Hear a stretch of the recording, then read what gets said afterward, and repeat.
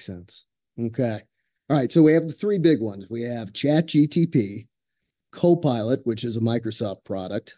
We have Gemini, which is a, a Google product. Um, I've used ChatGPT to do things like write scripts for Salesforce for our, our CRM, our uh, business program.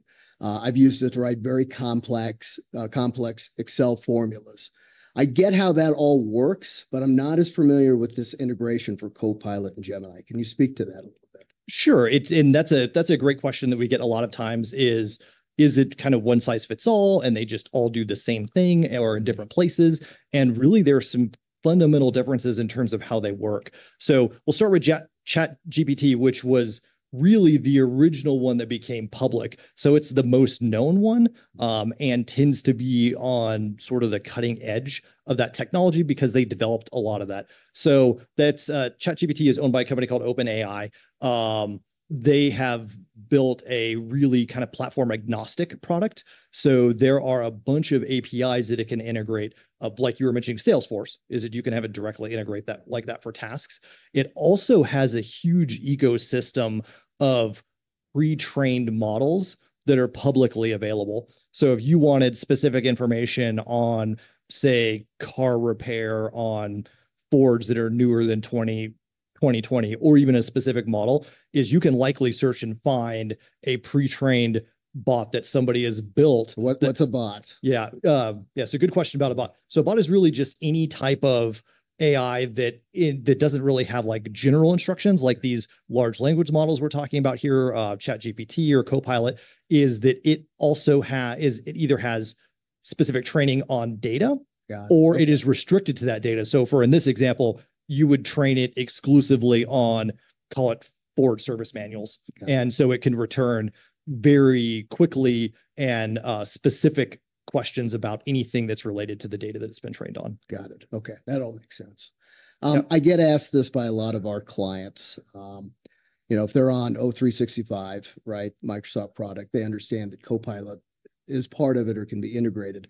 Those that are still on Google, they ask me, well, does the Gemini program operate like that? Does it create these efficiencies and these uh, ability to create content within that ecosystem? So Google Sheets, uh, et cetera, et cetera. Yeah, so we'll jump into to those as well. The first one is is MS Copilot. Um, now, MS Copilot is partially based on the ChatGPT engine. Um, there's a good reason for that. Microsoft is the largest shareholder ah. in OpenAI, so they own 49% of AI. So they OpenAI, so they're partnered together. But its engine works a little differently.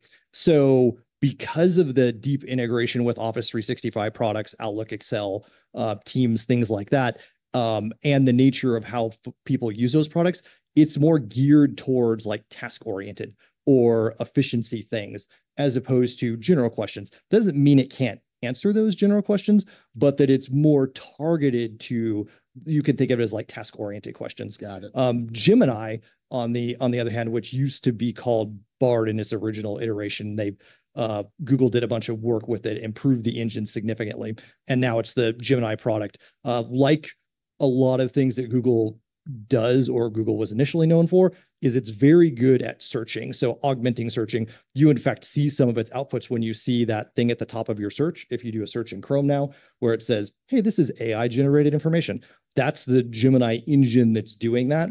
Um, they subsequently have begun integrating it into things like Sheets and Docs, like you mentioned, of similar to what Microsoft is doing with 365 but because that's been a little later into the game there, that integration isn't quite as holistic right. as what you would see on the 365 platform currently, Makes at least. Sense. And I presume both of these platforms for that integration is pay to play, right? You have to pay extra for the Copilot integration. Likely, you have to have what paid subscriptions to Google. Is that true? That is, that is true, and that's true of all of these products, at least on if you want to get the maximum amount of what they do, uh, you do have free versions of Chat GPT that's available, although it's got limitations in terms of what kind of data it has access to. Copilot, similar, you may have seen if you have Windows 11, that it now shows up in your taskbar. Microsoft is offering access to that as a preview, um, but it is limited in terms of what it can do. Gemini, conceptually similar. There are some things you can do for free, but if you want if you want all the features and you want it to really be able to integrate with your data that you have in those providers, you either need to have licenses on the 365 side or on the Google Workspace side.